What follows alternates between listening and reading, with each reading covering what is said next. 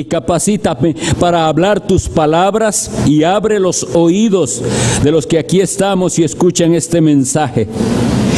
Por tu Espíritu Santo actúa en las mentes y en los corazones nuestros para que haya disposición al escuchar tu palabra, que estemos atentos que no escuchemos palabras de los hombres, sino la palabra de Dios. Y que tu Espíritu Santo use esa palabra para cambiar nuestras vidas, para hacernos conforme a la imagen de tu Hijo Jesucristo.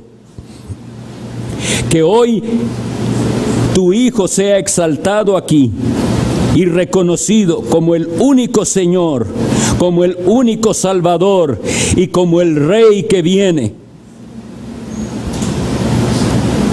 Ven y actúa por tu gran poder. Hazlo, Señor, y que no haya una sola persona que no sea consciente de tu presencia santa en medio de nosotros. Glorifica, oh Dios, el nombre de tu Hijo. Amén. Pueden sentarse.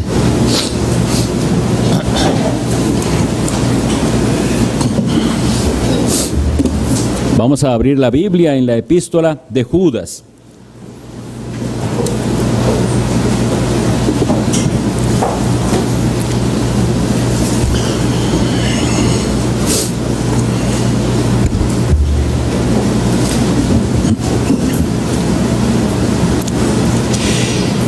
Es la carta de Judas y vamos a leer como estamos haciendo hasta los versículos donde vamos adelantando en las predicaciones con el propósito de ayudar a aquellos que estamos haciendo el esfuerzo de memorizar la epístola. Dice así la palabra de Dios.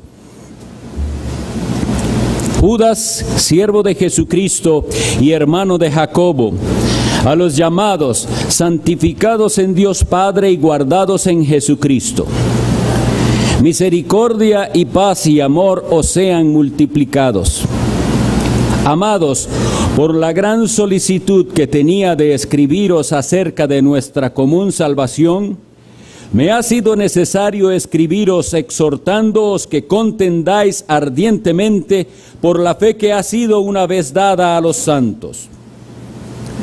Porque algunos hombres han entrado encubiertamente, los que desde antes habían sido destinados para esta condenación, hombres impíos, que convierten en libertinaje la gracia de nuestro Dios y niegan a Dios el único soberano y a nuestro Señor Jesucristo.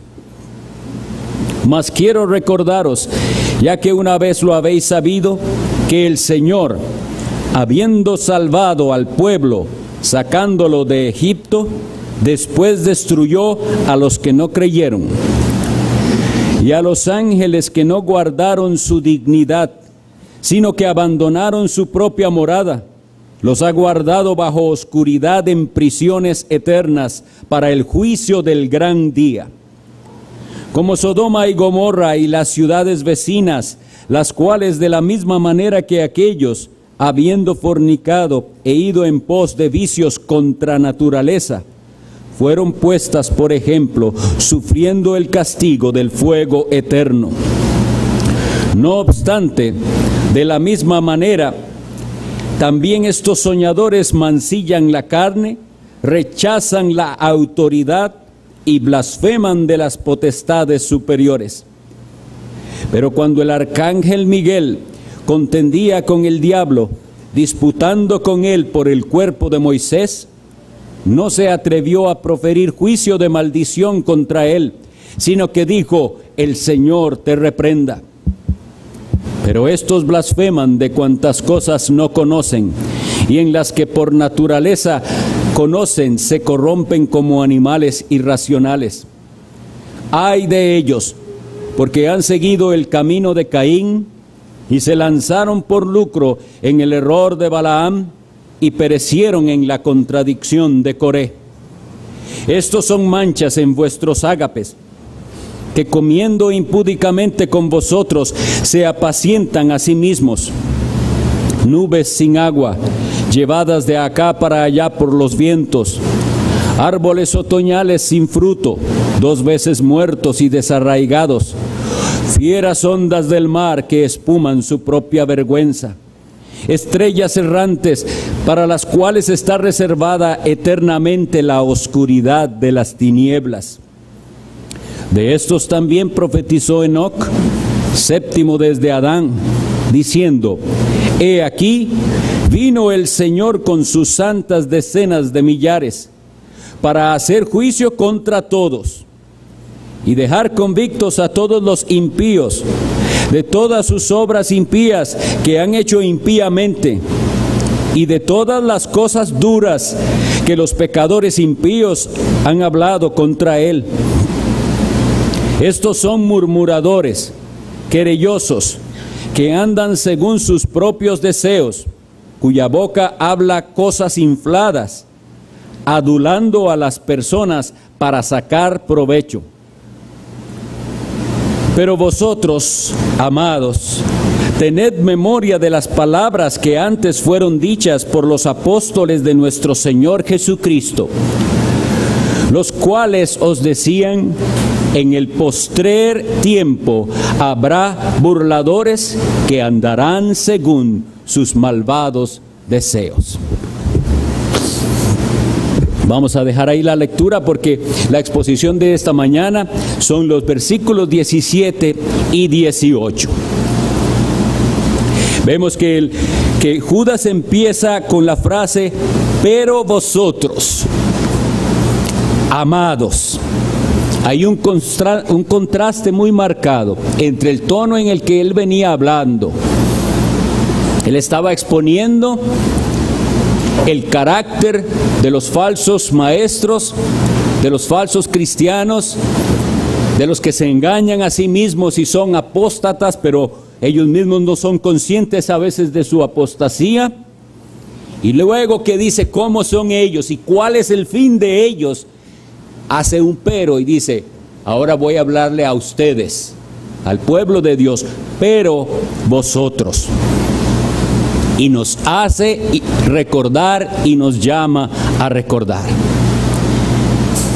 Quisiera empezar con una ilustración. Los que son padres pueden estar de acuerdo conmigo de que nosotros no advertimos a nuestros hijos una sola vez, ni les recordamos las cosas una sola vez. Tenemos que recordarle a nuestros niños sus deberes varias veces. Y nuestra palabra es constante. A los niños se lavó las manos, se lavó los dientes, hizo sus deberes y de misma manera las advertencias con respecto a las cosas peligrosas. No jugar con objetos que son punzocortantes porque son niños. No jugar con el fuego. Nunca aceptar regalos de desconocidos, etcétera. Todos sabemos cuáles son las cosas que repetidamente les tenemos que decir y se las decimos con amor las veces necesarias. O habrá alguien que piensa que porque ya advirtió a su hijo no le tiene que advertir más. Y va a decirle, bueno, ya yo le advertí, allá él. No podemos hacer eso con nuestros niños. Vamos a recordarles una y otra vez, las veces que sea necesario y mientras estemos aquí, sus deberes y las advertencias de aquello que sea peligroso. Bueno, así es como empieza él. Tened memoria. Hagan memoria, recuerden. ¿Y qué es lo que Él quiere que recordemos? Las palabras que antes fueron dichas por los apóstoles de nuestro Señor Jesucristo. La palabra apostólica es una palabra autoritativa, de autoridad. Y nosotros sabemos y hemos estudiado en el pasado que en el presente no hay más apóstoles y que si alguien se declara apóstol en los días presentes son falsos apóstoles. porque solo hubo doce apóstoles de Jesucristo más el apóstol Pablo y ellos hablaron con autoridad la palabra de Dios y lo que dejaron escrito es la autoridad de Dios para nosotros, tenemos que someternos a ella y recordar esas palabras apostólicas una y otra vez. De hecho, esta frase que él usa diciendo, haced memoria de las palabras que antes fueron dichas por los apóstoles de nuestro Señor Jesucristo, es parte de nuestro argumento que, habíamos dicho al inicio de que este Judas no es Judas apóstol, no es el que también se llama en los evangelios Leveo, que tenía por sobrenombre Tadeo, no es ese, sino que habíamos estudiado que es Judas, hermano de Santiago y hermano de Jacob, del Señor Jesús, hijo de María y de José, pues. Entonces, vamos a empezar por aquí. El primer punto nuestro entonces va a ser esa necesidad que tenemos los cristianos de la función pastoral que nos recuerda constantemente la palabra de Dios. Voy a leer para ustedes lo que dice el apóstol Pedro en su segunda epístola, capítulo 1, versículo 12, segunda de Pedro 1, 12, dice así el apóstol Pedro. Por esto yo no dejaré de recordaros siempre estas cosas, aunque vosotros las sepáis y estéis confirmados en la verdad presente. No es porque ignoren nuestros niños que nosotros les decimos las cosas, ya se las hemos dicho, las conocen y necesitamos decírselas una vez más.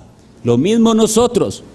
El apóstol dice que ya nosotros las sabemos, pero que Él no dejará de recordarnos esas cosas que sabemos, aunque las sepamos, porque Él necesita que estemos confirmados en la verdad presente. El apóstol Pablo también dijo algo muy similar. Y él lo dijo en Filipenses 3.1, cuando él escribió la carta a la iglesia en Filipos, capítulo 3, versículo 1, les dice, por lo demás, hermanos, gozaos en el Señor. Y pongan atención a esta frase. A mí no me es molesto el escribiros las mismas cosas y para vosotros es seguro. Esa función pastoral no es molesto para aquellos a los que el Señor puso a predicar su palabra, ir una y otra vez al mismo consejo bíblico, a la misma advertencia. Para eso nos puso el Señor y es que es necesario. Es necesario. Porque la labor pastoral es una labor también de vigilancia. Recuerdan que el pastor es también llamado en otras ocasiones obispo. La palabra obispo en el griego se dice así, episcopos, y esa palabra realmente lo que significa es el que está viendo por encima, vigilando.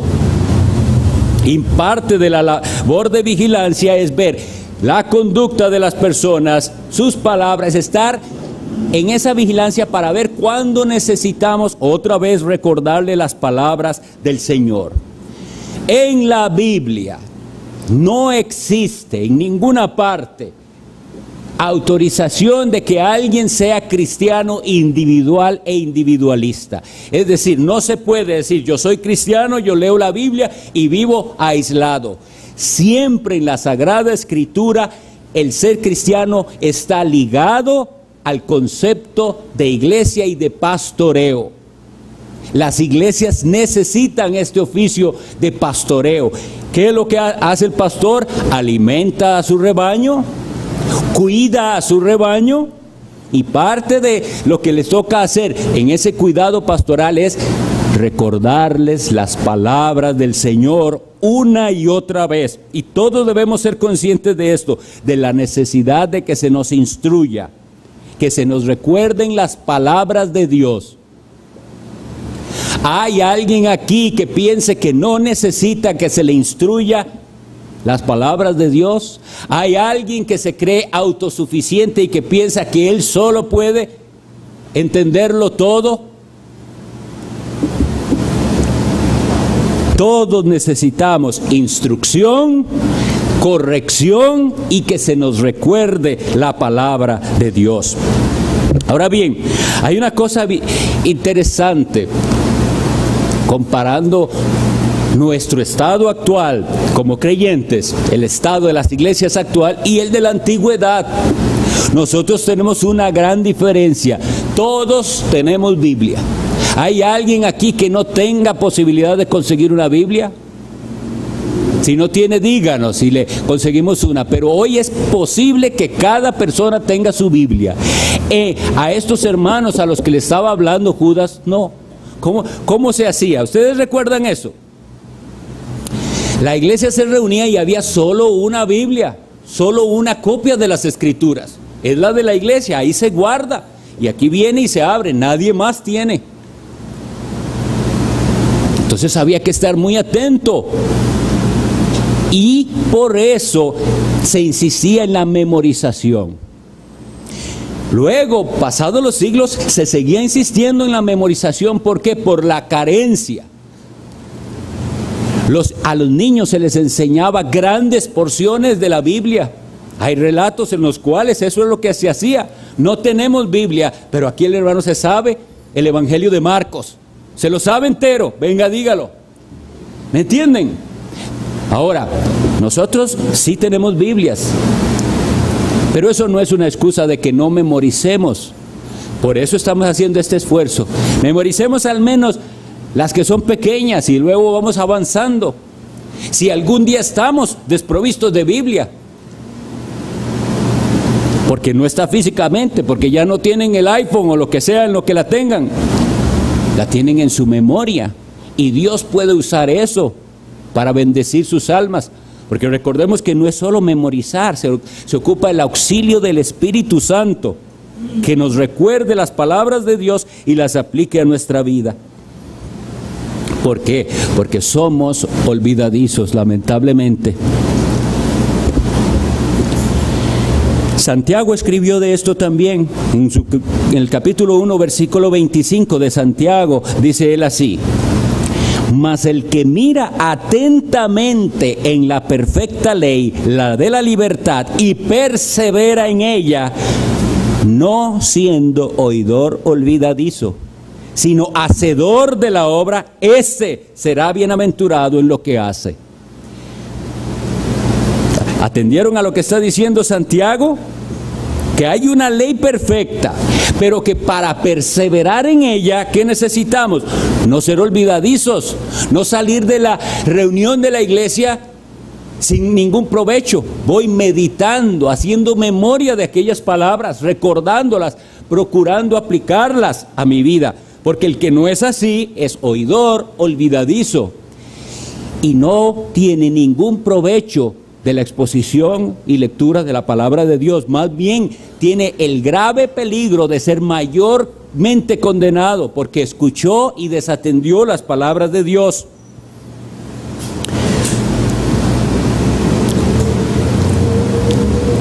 Vamos a ir juntos a leer primer libro de Crónicas 16, 12.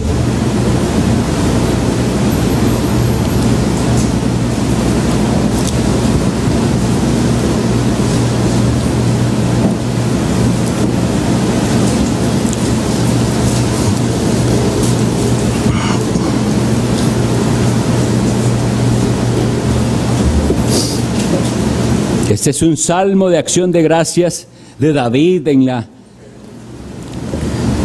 en este momento histórico de la traída del arca. Y dice así: Haced memoria de las maravillas que ha hecho, de sus prodigios y de los juicios de su boca. Haced memoria. Nadie puede recordar lo que no sabía. Nosotros es, por eso puse esa ilustración. Lo que nosotros hacemos con nuestros niños es recordarles lo que ya le hemos dicho. Y, y, de eso se espera de nosotros, que seamos ávidos lectores de la palabra de Dios. Que cuando se hace referencia a la palabra de Dios, lo que están haciendo los predicadores es recordándonos lo que hemos leído antes, en otras ocasiones, en nuestras lecturas privadas. Haced memoria.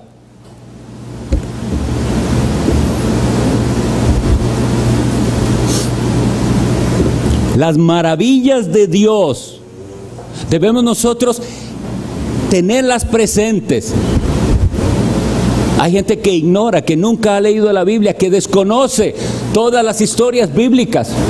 Nosotros tenemos que ser, insistir en eso, en ello desde los pequeños. ¿Saben por qué? Porque esas historias bíblicas, con su correcta aplicación, en algún momento, en el día de su poder, como dice el Salmo, eh, Dios las usará para salvar a aquellos chicos. Cuando Él actúe, todo aquello comenzará a tener sentido.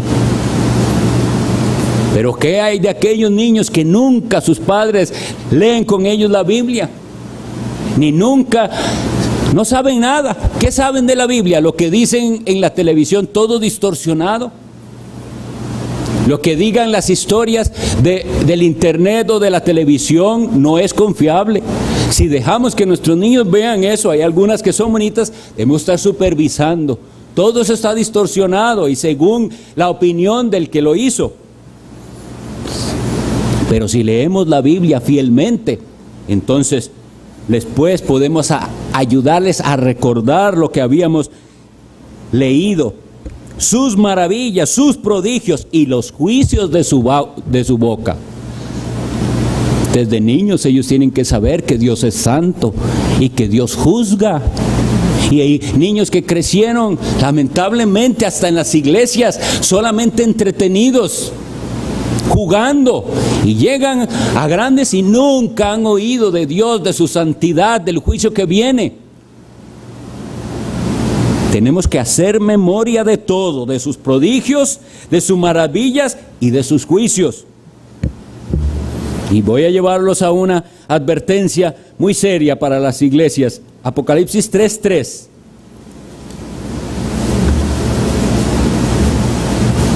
Estamos ahí cerca.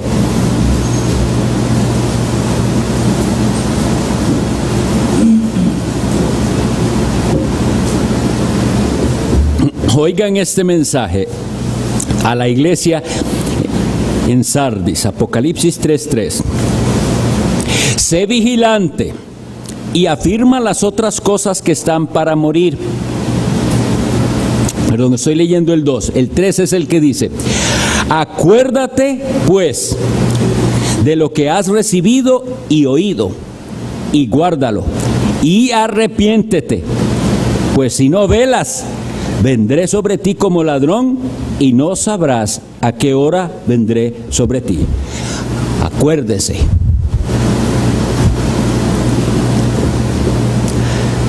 Ya ha recibido algo. Usted es cristiano. Ha recibido la palabra de Dios. Aquí está. Dios lo hace responsable de lo que ha recibido y de lo que ha oído.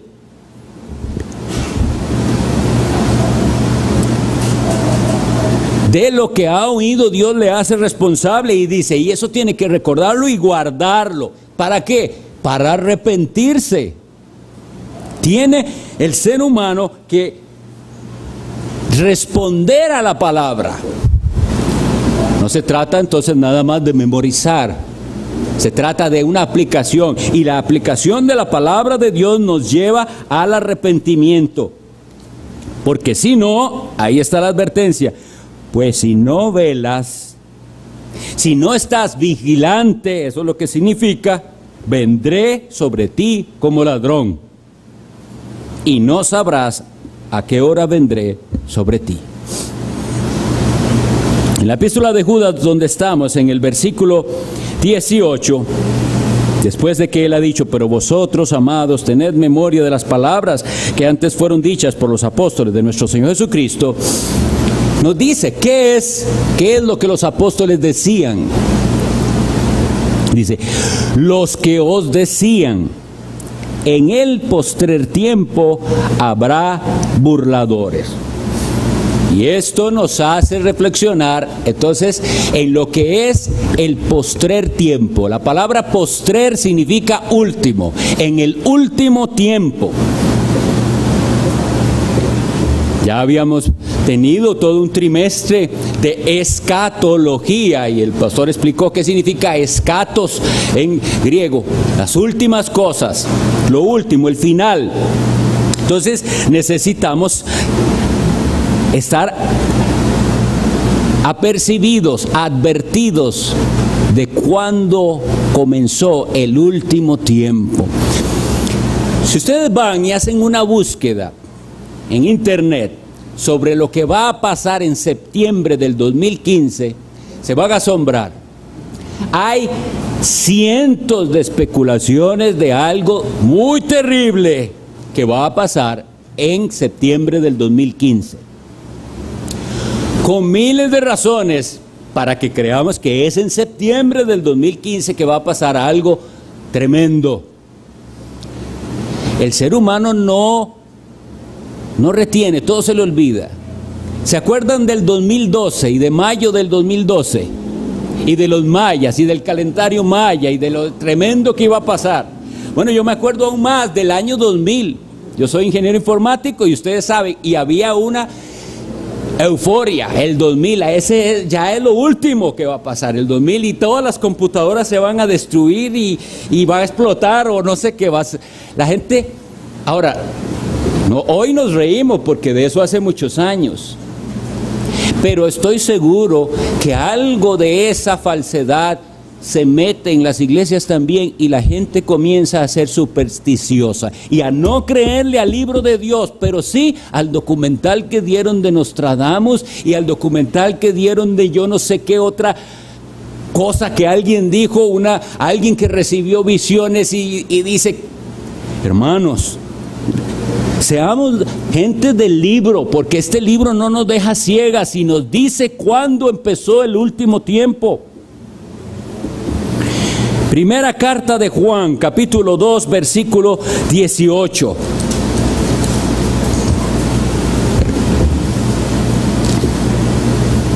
Hijitos, ya es el último tiempo. Y según vosotros oísteis que el anticristo viene, así ahora han surgido muchos anticristos. Por esto conocemos que es el último tiempo. Ya es, cuando, cuando Juan está escribiendo, ya es el último tiempo. Y ahorita vamos a ver por qué y cómo sabemos que ese era el último tiempo. Él dice que porque ya se manifestó el anticristo y muchos anticristos. La palabra anticristo tiene dos significados que tenemos que tener bien claros. Uno es contra y otra es en lugar de. Entonces, todo aquel que se enfrenta a Cristo, se opone a Cristo, es anticristo, a la doctrina de Cristo. Todo aquel que se oponga a la doctrina de Cristo es anticristo. Pero también está el otro sentido en el cual alguien se pone en lugar de Cristo. Ambas cosas son anticristo, pero él dice que ya es. Él no les dice dentro de poco, él les dice ya es el último tiempo. ¿Cuándo empezó el último tiempo? Con la venida del Mesías, el Mesías prometido, el cumplimiento de esa profecía de esa profecía, cuando el verbo se hizo carne, se hizo como uno de nosotros, Jesucristo, y vivió en este mundo santamente sin haber pecado jamás, y fue llevado a la muerte de la cruz, y fue sepultado, y fue y resucitó y ascendió para estar a la diestra del Padre, eso es un evento del fin de los tiempos. Y no es que yo lo diga, es que la Biblia dice, Hebreos 1.2 dice que en estos postreros tiempos, dice el escritor Hebreos, Dios nos ha hablado por el Hijo. Cristo marca el inicio de los, de los, últimos tiempos, porque ya nos trajo la revelación plena del Padre. Pero también si leemos en, en Hechos capítulo 2, versículo 17, cuando en Pentecostés baja el Espíritu Santo y dice que ustedes han leído el relato y si no lo leerán como un viento recio y, lenguas repartidas como de fuego en aquellos 120 que estaban esperando la promesa. ¿Cómo dice Pedro? ¿Cómo describe Pedro eso, ese suceso particular? Dice, esto es lo dicho por el profeta Joel.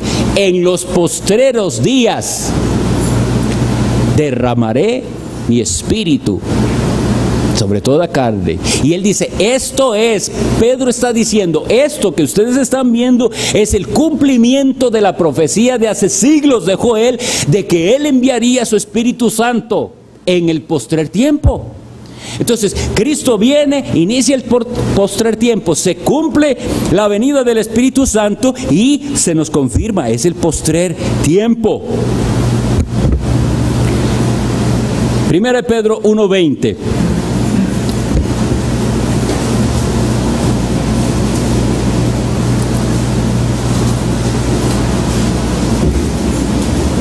Bien, para tener más claro el contexto, leemos desde el 18 y dice el apóstol Pedro así, 1 Pedro 1, 18 al 20. Dice, sabiendo que fuisteis rescatados de vuestra vana manera de vivir, la cual recibisteis de vuestros padres, no con cosas corruptibles como oro o plata, sino con la sangre preciosa de Cristo, como de un cordero sin mancha y sin contaminación ya destinado desde antes de la fundación del mundo, pero manifestado en los postreros tiempos por amor de vosotros. Entonces, ¿estamos diciendo algo contrario a la escritura? No, los, los, postreros tiempos empezaron con la venida de Cristo. Así que no, la gente le encanta esa euforia de que le digan algo para saber que está en los últimos tiempos. Estamos en los últimos tiempos, claro que sí. Pero entonces la reacción en esa espera, desde que ya empezaron los últimos tiempos, la podemos leer en 2 de Pedro 3. Segunda carta de Pedro y el capítulo 3, y este sí vamos a leer varios versículos para que veamos esa reacción de los que no les gusta así, sino que ellos quieren cosas sensacionales y espectaculares para verlas ya. Dice así, segunda Pedro 3, del 3 al 11, voy a leer esto, dice, sabiendo primero esto, que en los postreros días vendrán burladores andando según sus propias concupiscencias y diciendo, ¿dónde está la promesa de su advenimiento? Porque desde el día en que los padres durmieron, todas las cosas permanecen así como desde el principio de la creación.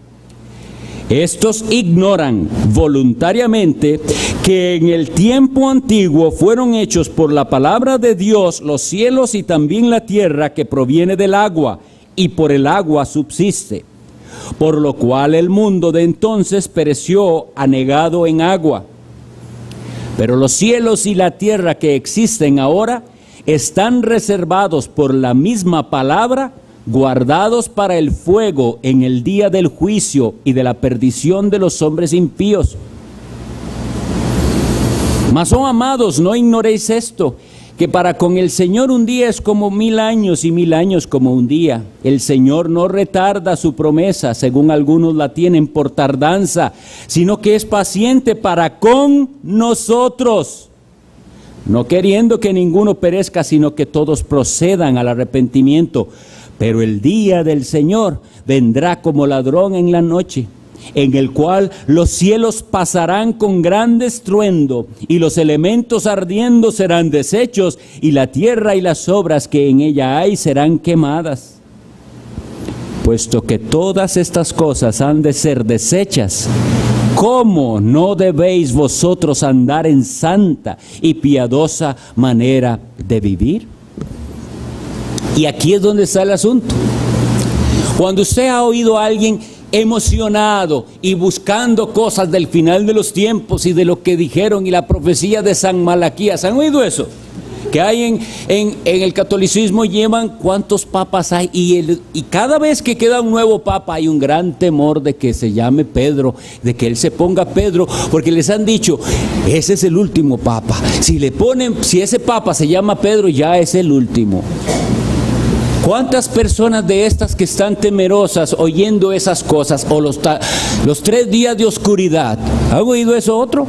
Que ya vienen tres días de oscuridad y la gente temerosa.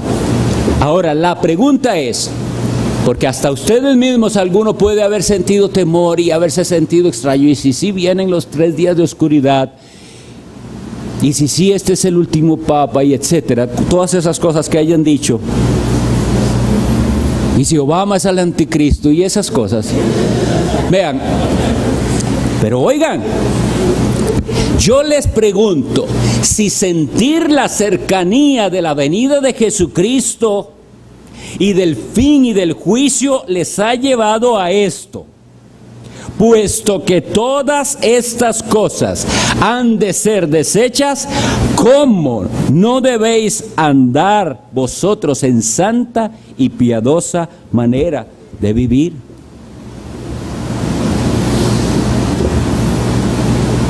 Si fuera ya, si fuera esta semana, hay gente que si, que si tuviera esa confirmación de que ahora es, ahora en septiembre, como dicen que números, etcétera, de cosas que inventan rarísimas, pero si fuera, ¿se va a poner con Dios? va a clamar a Dios y va a pedir perdón por sus pecados, va a ir a esa persona que usted ofendió y le va a pedir perdón, se va a poner en paz con sus familiares, con sus amigos, etcétera. ¿Provoca eso? No, es todo un emocionalismo vano. Yo no veo que eso lleve a nadie a arrepentimiento verdadero ni a una vida consagrada. Y si les lleva a algunos, entonces voy a comenzar a ir a la iglesia, porque dicen que Queda como un año para el fin. Cuando pase ese año, deja de ir a la iglesia, porque son personas que hacen todo por, no por la razón correcta, no por Dios, sino por un miedo pasajero. Pidamos al Señor no un miedo pasajero, sino un verdadero temor de Dios. Si nosotros cuando leemos esto no ejercitamos nuestra imaginación para decir, mire, los cielos y la tierra que ahora existen están reservados para qué? Para el fuego en el día del juicio y de la perdición.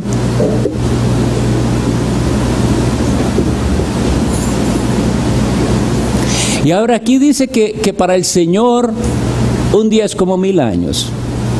Así que desde que Cristo vino, para Dios han pasado como dos días, digámoslo así.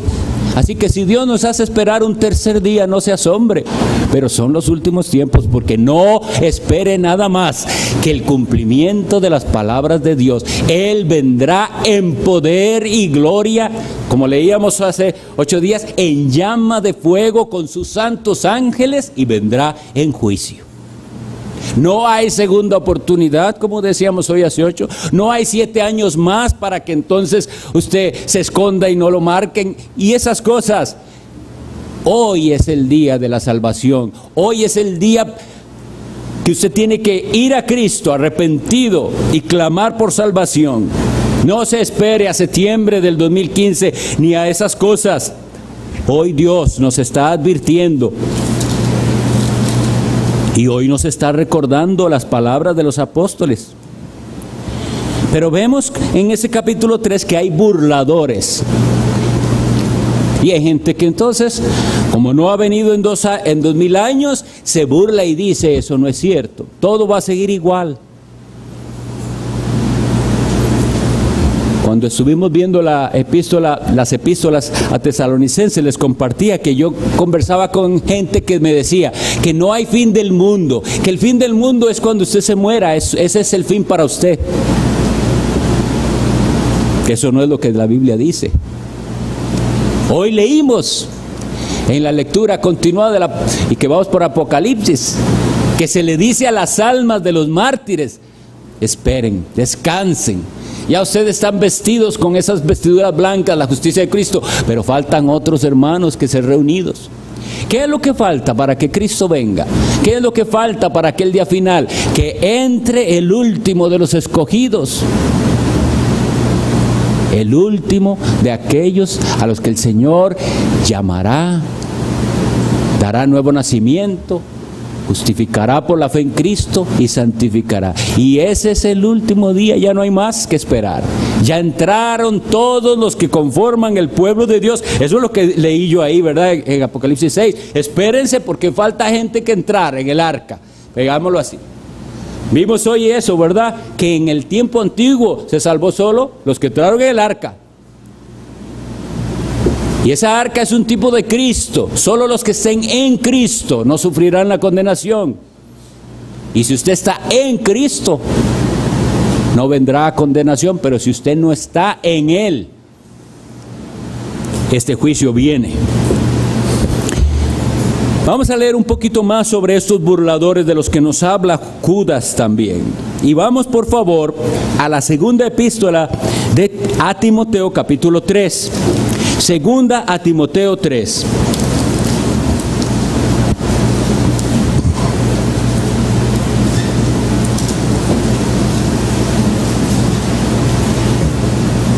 Vamos a leer los primeros cinco versículos.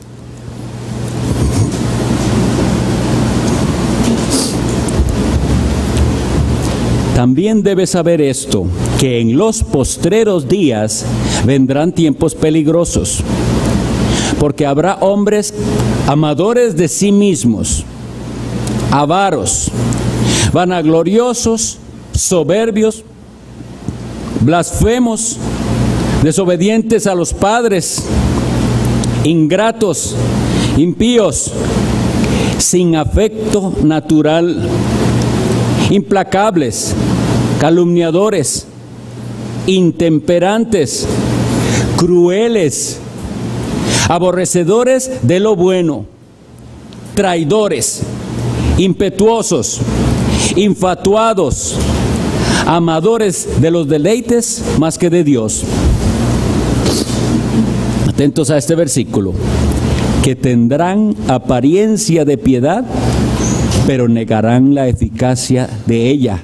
A estos evita Ahora, si le está hablando a Timoteo y le dice, evite a estos, y le dice que eso es en el último tiempo, ya eran los últimos tiempos. Pero sin embargo, debemos también reconocer que ese es un aumento de la maldad que se predice. En todas las épocas ha habido hombres amadores de sí mismos, vanagloriosos, avaros, blasfemos, en todas las épocas. Pero hay un aumento notorio de la maldad. Nosotros, hermanos, seríamos ciegos si no vemos eso en nuestra época el aumento de la maldad. Ustedes saben esas estadísticas que han muerto más niños abortados que los de la guerra mundial que hubo. No hay afecto natural. Esas madres no aman lo que es fruto de sus vientres. Esto es la profecía cumpliéndose. Gente sin afecto. Impetuosos, infatuados y amadores de los deleites más que de Dios. Si la Biblia dice eso, pero yo lo que siento es esto otro y sigo mis placeres, mis deseos. Y la parte terrible que, que, se relaciona con ese tema que hemos venido estudiando por muchas semanas ya de los apóstatas y falsos maestros es que tienen apariencia de piedad apariencia de piedad, pero niegan la eficacia de ella. Y estos que la Biblia llama burladores, no solo son burladores, sino la causa de que otros se burlen del cristianismo. Son la causa, porque ellos son la cara, ¿Qué cree, voy a hablar aquí a nosotros que vivimos en este país, qué cree el, ciudadano común que es un cristiano evangélico? Él cree que es Canal 23. Él cree que es esos televangelistas que salen ahí adulando, haciendo de la religión un negocio y que todo parece piedad, pero detrás de eso no hay piedad. Hay avaricia. Y no solo eso, hay pecado. Hay testigos de cómo se manejan muchas de esas de esos grupos sin piedad, sin santidad. Pero hay una apariencia. Causan, por lo tanto, que otros se burlen del cristianismo, porque son personas que siguen sus propios deseos. El camino de Cristo, sin embargo, es la autonegación. ¿Se parece eso a la, a la autonegación? No, eso es contrario. Ellos predican la autocomplacencia, el buscar los bienes de esta vida. Lo que importa es el aquí y el ahora, la salud, el dinero, el éxito en este mundo. Y son burladores. Es un, mundo, es un camino que favorece la avaricia, el egoísmo, porque es un mensaje basado, ¿saben qué? En usted. El mensaje verdadero está basado solamente en Jesucristo y en su Evangelio. Y ese es el que trae esperanza y el que sí cumple lo que promete. Ese otro Evangelio falso promete muchas cosas maravillosas, pero no las cumple.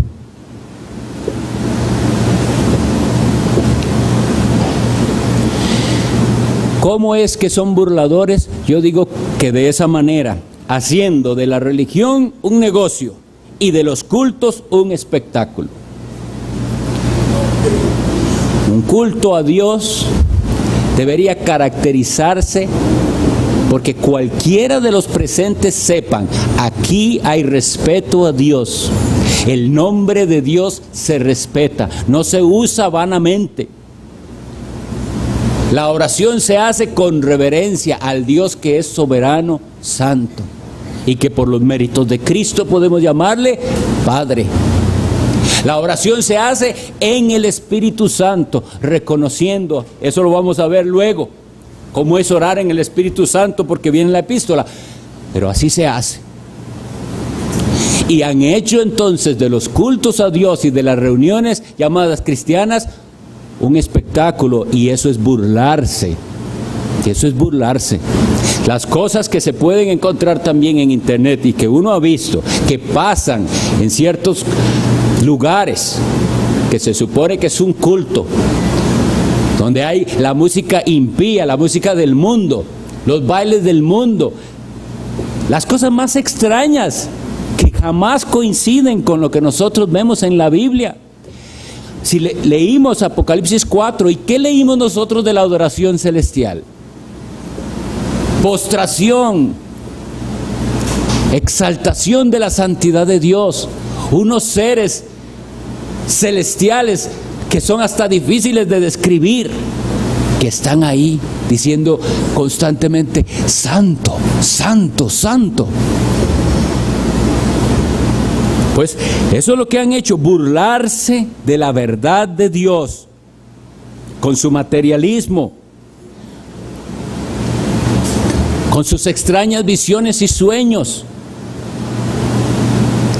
Yo hice un poquito de investigación esta semana y encontré una de cosas tan que son como increíbles para uno. La gente que dice que fue al infierno, que vio cosas, y que vio que los que con su propia interpretación de las cosas, el que haga tal cosa o tal o el que no haga tal otra, ahí yo los vi en el infierno.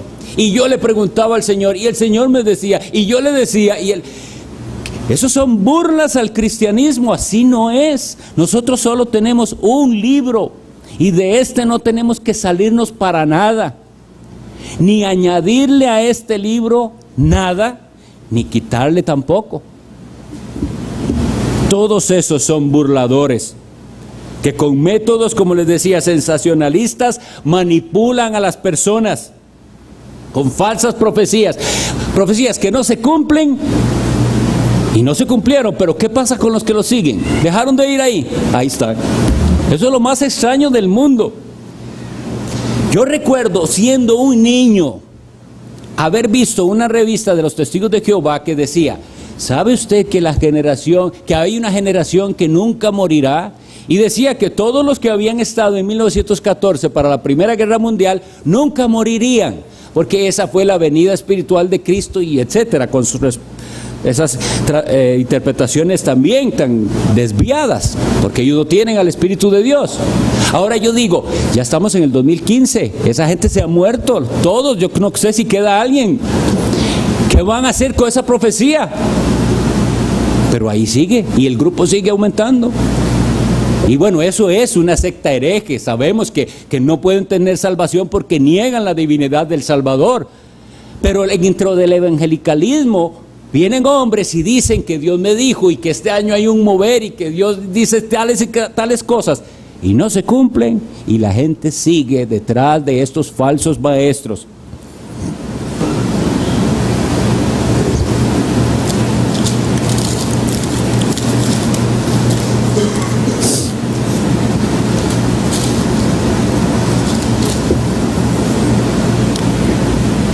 En el postrer tiempo habrá burladores que andarán según sus malvados deseos.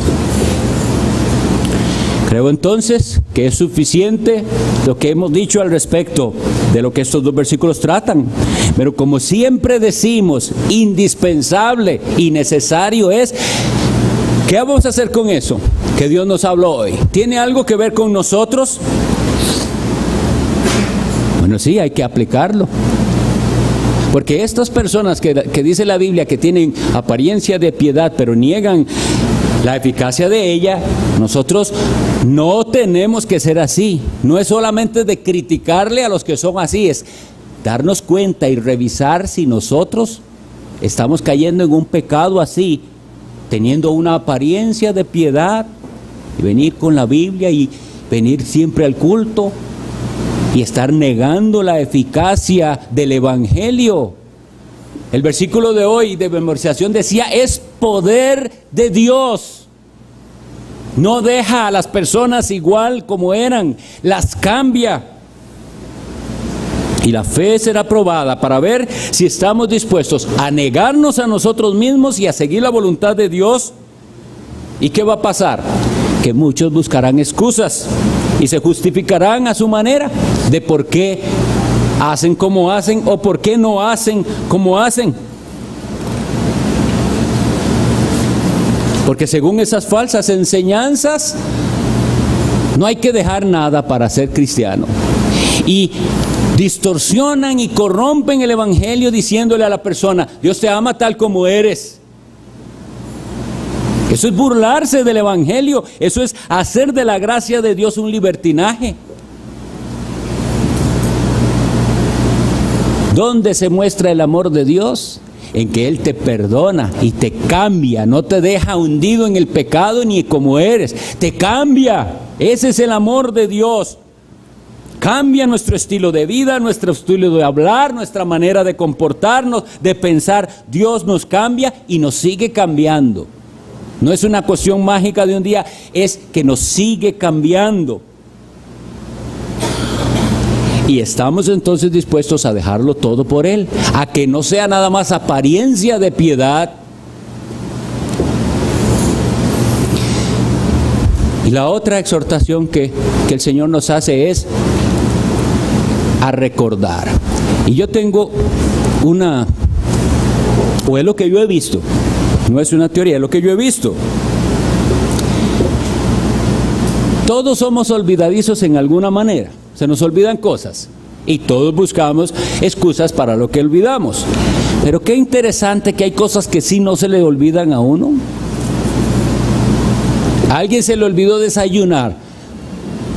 Y, vino y dijo, ay mira, hoy no desayuné. Hoy no he almorzado, se me olvida almorzar, desayunar, comer. ¿Por qué esas cosas sí están más presentes? Porque tienen cierta prioridad en nuestra vida. Comer y alimentarse es prioritario. ¿Cuáles son las prioridades de su vida? Las cosas espirituales sí se olvidan porque están en la lista tan al final que se olvida. leer la Biblia y orar no es prioritario, puesto que se le olvida. Yo estoy hablando una verdad o es pues que se me ocurre ahí. Si se le olvida, una cosa es que usted diga, Hoy, no he, hoy he estado mal organizado y no he podido hacer mi lectura de la Biblia ni orar, pero yo voy a ver cómo me organizo y encuentro ese rato. Pero usted lo tiene presente. Es que no puedo pasar un día sin ir a la palabra y sin tener mi tiempo a solas con Dios. Eso es diferente a que simplemente hay gente que ni se acuerda que había que leer la Biblia, ni se acuerda que había que orar. Eso es porque en sus prioridades Dios no está.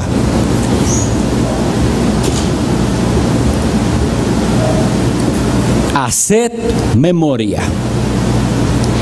Y finalmente, si hoy fuera ese fin, ¿cómo está usted delante de Dios? ¿Está preparado siguiendo a Cristo? En esas palabras de, Pedro decía, velad entonces, velad. Si usted cree que ya viene, ¿está velando y orando? ¿O sigue el camino de los burladores? Que usted le dice sí, nada más a la palabra de Dios, pero eso no causa nada en su vida, no hay ningún cambio. Porque también hay algo, si usted está consciente de que viene el fin, y este fin se describe ahí como una tragedia tan grande, ¿Qué va a hacer usted con los que le rodean? ¿Los va a dejar que perezcan? ¿No les va a dar una palabra de advertencia? Y esa palabra de advertencia no es así. Vea lo que dijeron en internet que puede pasar en septiembre. así es como el mundo hace las cosas de una manera sensacionalista y manipulando. No, vea lo que dice la Biblia. Viene un día, viene y se acerca cada vez más el día en que Dios llamará a cuentas a todos y juzgará por Jesucristo su Hijo las obras, pensamientos, sentimientos y los secretos de los hombres. Haced memoria de esas palabras hoy. Oremos.